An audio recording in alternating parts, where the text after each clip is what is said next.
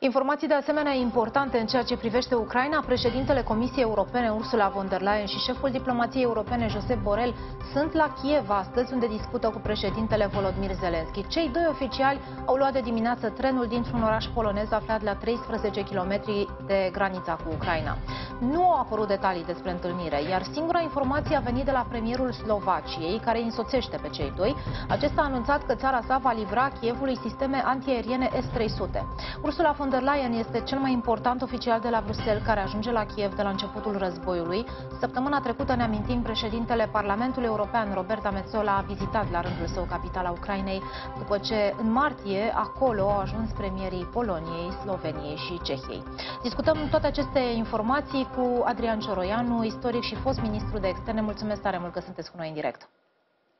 Bună ziua, bună ziua tuturor! M-aș referi în primul rând la avertismentul pe care l-am urmărit puțin mai devreme din partea fostului comandant al trupelor NATO în Europa, Ben Hodges, care spune în felul următor, parafrazând, Ucraina are acum o fereastră de oportunitate, are un avantaj, că se regrupează trupele rusești, că își refac strategia, că își dau seama ce au de făcut, oricum sunt vulnerabile. Dacă Occidentul, NATO, Statele Unite nu profită de această fereastră de oportunitate și în următoarele trei săptămâni nu nimicesc trupele ruse, vom putea vorbi despre un război care se va întinde pe 2 ani sau poate chiar mai mult. 9 mai, ziua victoriei sărbătorită cu fast în Rusia, este o zi importantă, o zi critică în care rușii vor dori să sărbătorească o victorie concretă, victoria în Mariupol, de pildă.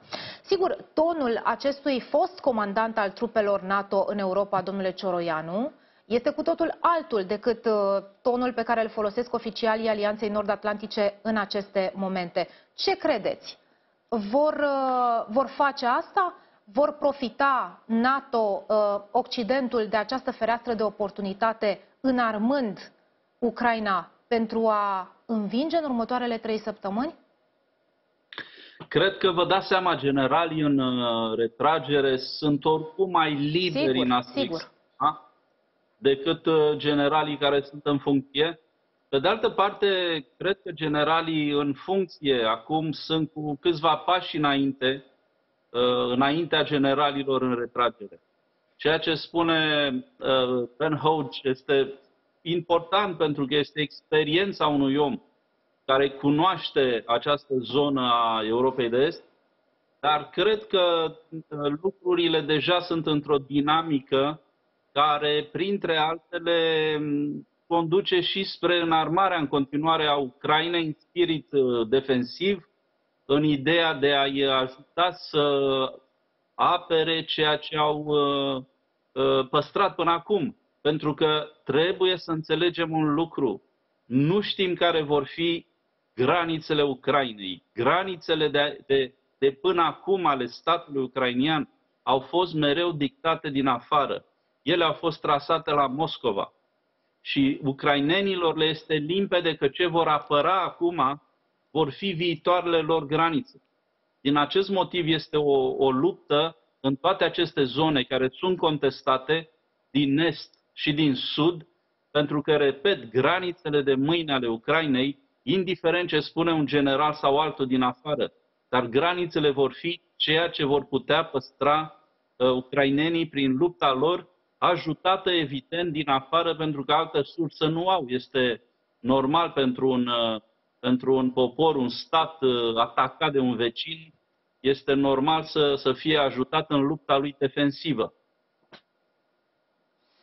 Până una alta, doar uh, Cehia și Polonia, țări membre NATO, au anunțat că trimit tancuri sovietice, modele sovietice pentru soldații ucraineni. Deci, până în acest moment, cum evaluați ajutorul în ceea ce privește echipament militar pentru Ucraina?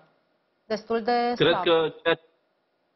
nu aș spune, nu aș spune. Ceea ce, ceea ce aminteați este partea cea mai vizibilă, este partea cu care uh, soldații ucraineni sunt familiarizați, dar în același timp i-au primit aproape de la începutul conflictului, au primit și armament de ultimă generație, armament antitank, de, de exemplu, care este în, uh, cum să spun, în uh, Uh, la modă, să zicem, în, uh, în structura defensivă a unor țări occidentale.